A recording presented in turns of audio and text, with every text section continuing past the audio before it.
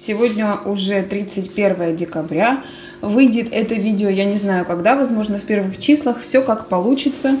И что, мое 31 декабря началось с того, что мне пришла посылка, которую я заказывала на iHerb.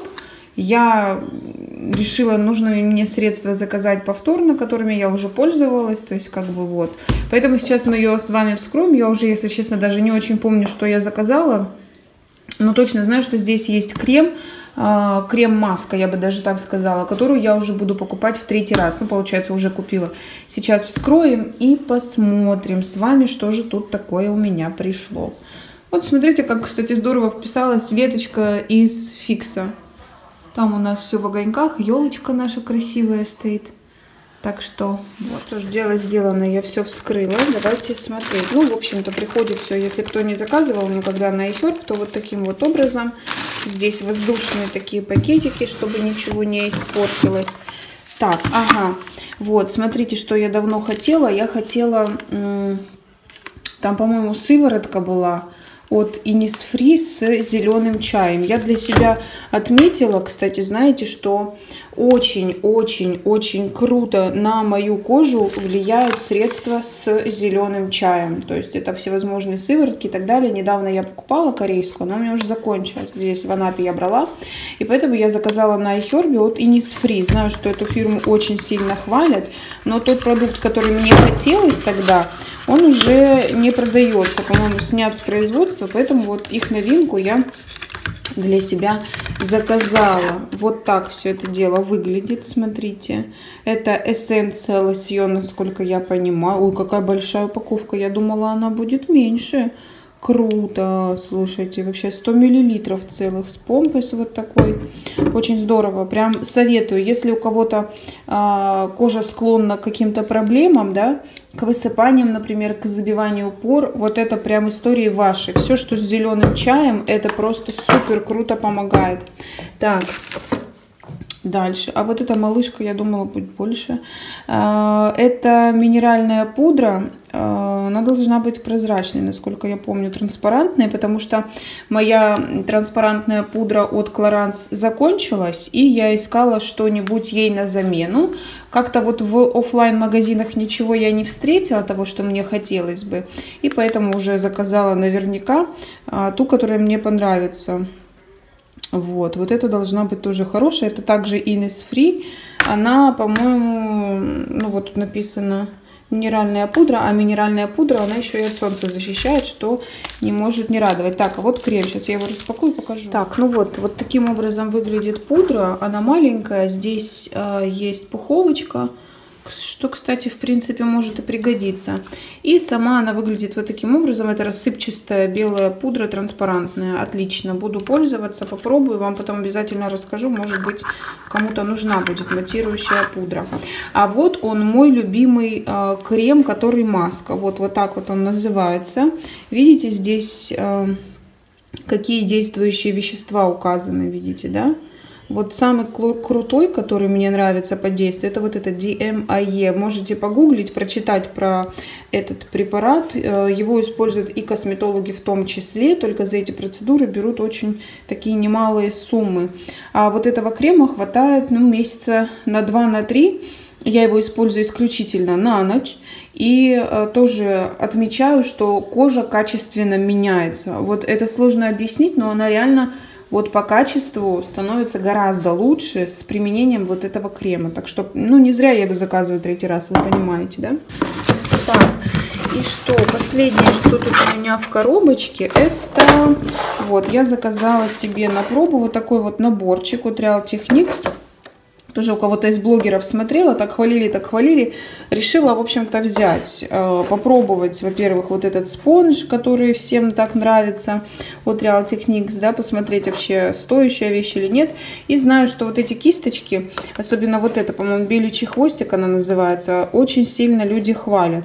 И вот этот набор, он выходит весьма и весьма бюджетно, там от тысячи до двух, но точно я вам не скажу, я уже не помню. А, внизу будут ссылки все, если любопытно, пройдите, посмотрите. И также будет а, промокод на скидку, как обычно. Можете, если что-то нужно, заказывать по нему и получите скидку там от 5 до 10.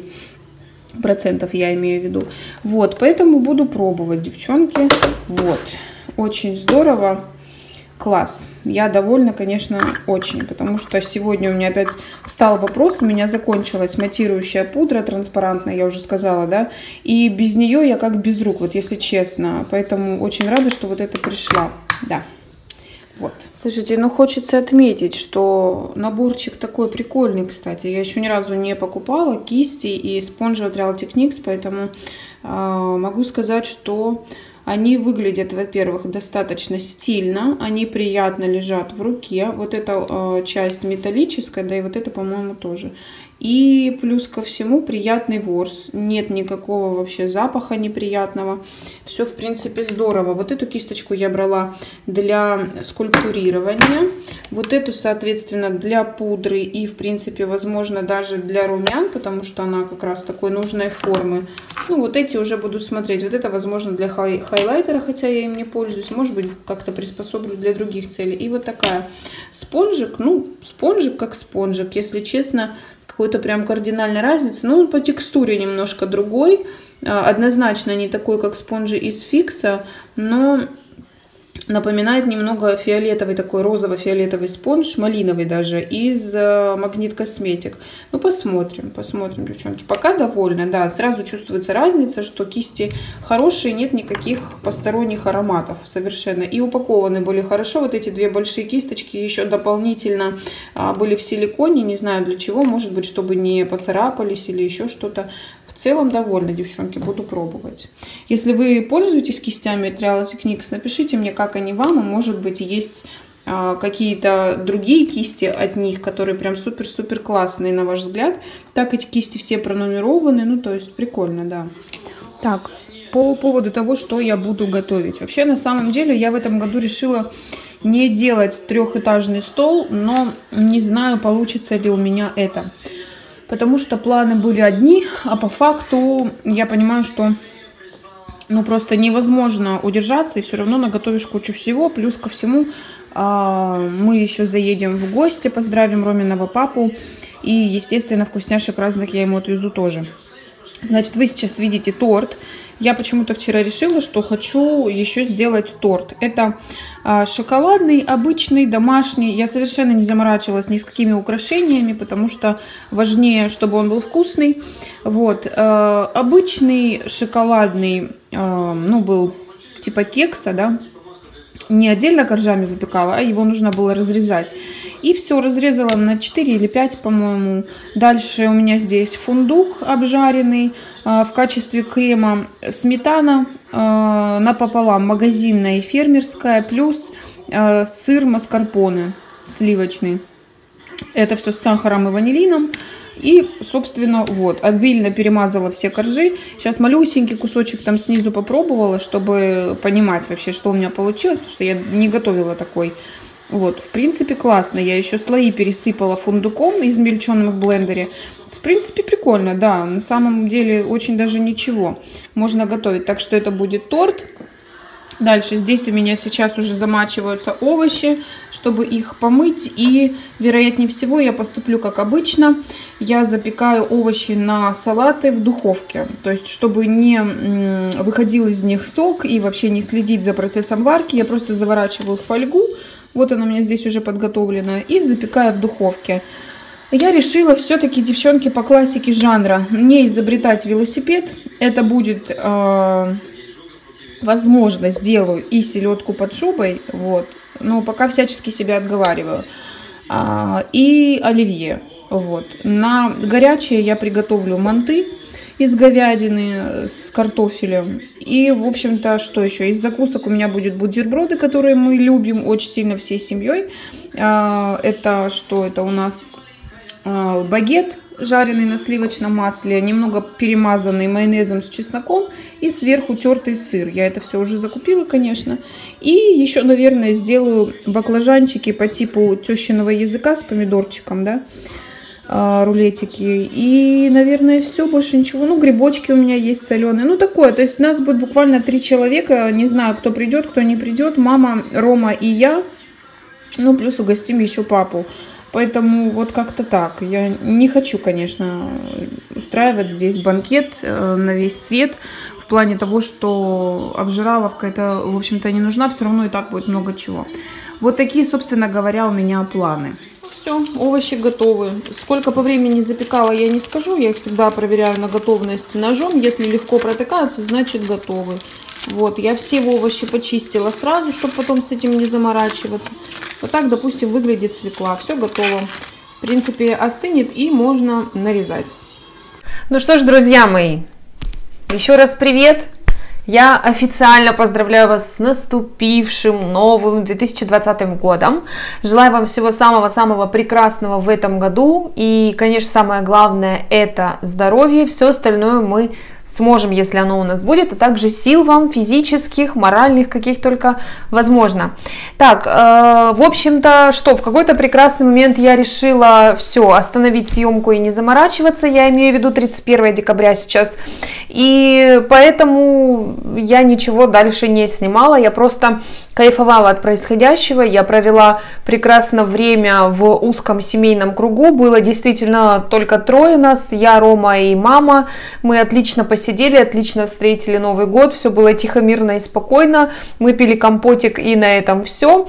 Э, на самом деле я приготовила все, что озвучила в видео, я сделала оливье, селедку под шубой, манты, бутерброды, ну то есть такое вот, да, торт, все вот это было. Мы прекрасно все это дело встретили, встретили Новый год, а, посмотрели чудо чудесный салют, постреляли из ружья ракетницами и так далее. Ну, то есть, э, вот таким образом мы этот Новый год и встретили, поэтому у меня не было, на самом деле, честно, не было желания включать камеру, и поэтому вот, вот так все это было, но я вам где-то здесь парочку фотографий вставлю, которые у нас есть сейчас такие прикольненькие, самые смешные, в общем, я вам вставлю фотки, посмотрите, что это было. Вот, так что вот такие вот дела, девчонки, девчонки, так мы встретили Новый год. Напишите, как встретили его вы. Вы э, делали это тихо или это было что-то грандиозное и шумное. Очень интересно будет посмотреть. Так что все, мои дорогие, я на этом буду заканчивать это видео. Не хочу вас напрягать долгими роликами. Это будет уже дальше, это будут уже следующие ролики. Здесь я просто немножечко хотела с вами пообщаться, э, показать, что я делала и так далее. Просто немного поднять вам настроение, пожелать вам прекрасных выходных, чтобы вы все успели очень-очень хорошо отдохнуть и морально, и опять же физически, и с новыми силами начать этот Новый год. Обязательно напишите себе цели на предстоящий год. Я решила тоже такое практиковать, и попозже я вам об этом всем расскажу. Подведем итоги 2019, и я расскажу о своих планах на 2020, чего и вам советую сделать, потому что, мне кажется, так они действительно сбудутся с большей долей вероятности, чем просто подумать в голове. И да, обязательно постарайтесь формулировать свои желания максимально четко.